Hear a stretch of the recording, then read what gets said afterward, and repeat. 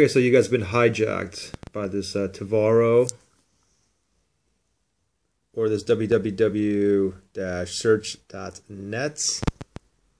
I'm going to show you how to get rid of it. It's pretty easy. It's basically a browser hijacker and I'm going to show you how to get rid of it on three browsers, Google Chrome, Internet Explorer, and Mozilla Firefox. And we're going to start off with Google Chrome. So first thing is first, guys, what you want to do is you need to go into your control panel and you need to remove this program. Now the thing is some of you are going to have it in here, some of you aren't. If you don't have it in here, you can move to the next step. However, the name may be a little bit disguised. So for instance, I'm in the control panel, add remove programs here. Now what you want to look for is because a lot of people keep getting it, the same thing reinstalled or they keep uh, taken out of their browser or whatnot and it keeps coming back.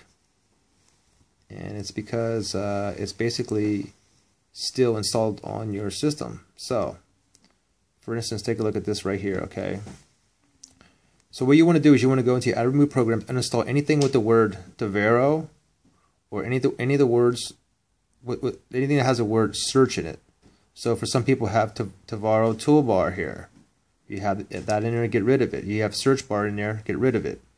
If you have anything such as this regular Tuvaro or search or search protect or Tuvaro protect, anything to do with basically these two words, be wary of it. And if it's all installed on the same date with the date that you think you got the uh, the hijacker, uninstall the program.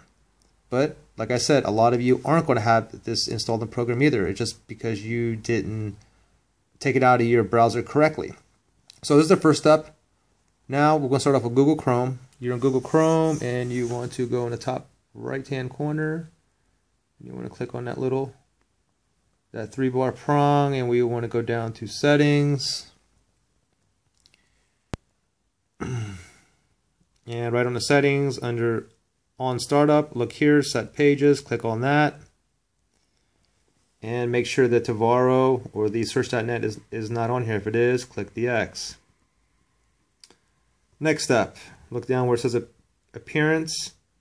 And actually your, your home button is probably checked here. If it's checked what you want to do is you want to click on change here and make sure you don't have any of that um, the uh, Tuvaro or the um,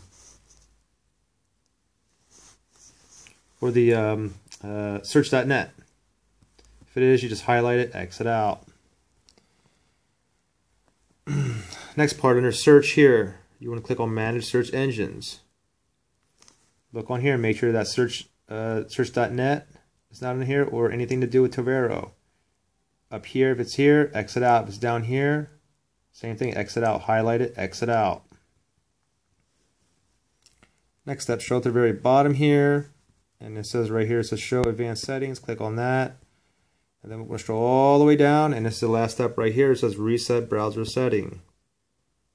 Click on that, reset your browser. Don't forget, you reset any browser, you will lose everything. Your favorites, your history, your cookies will be deleted.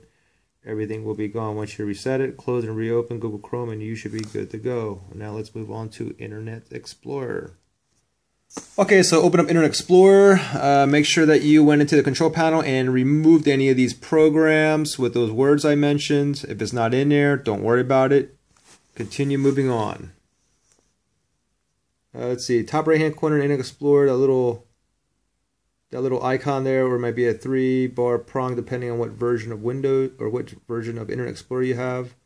Click on Manage Add-ons, Tools and Extensions. If you see anything to do with the uh, Tuvaro or the Search.net, highlight it, and down here you want to click on Disable. Next thing is under Search Providers, which is just like the managed search engines in the Google Chrome we just did. Make sure it's not in here. If it is, you just highlight it and you just click on remove. Next thing is go back onto that top right hand corner icon and we're going this time we're going to go down to internet options. Obviously your home page, you want to make sure your home page is set to your home page and not the uh, search.net or Tuvaro. Last step, click on advanced. Look down here, it says reset, reset it. Remember, when you when you reset any browser, it's going to delete your cookies and reset everything, your favorites, your bookmarks, everything. Once you reset, close and reopen, you should be good to go. Last but not least, let's do Mozilla Firefox. Okay, so after you did the first step, you remove the program.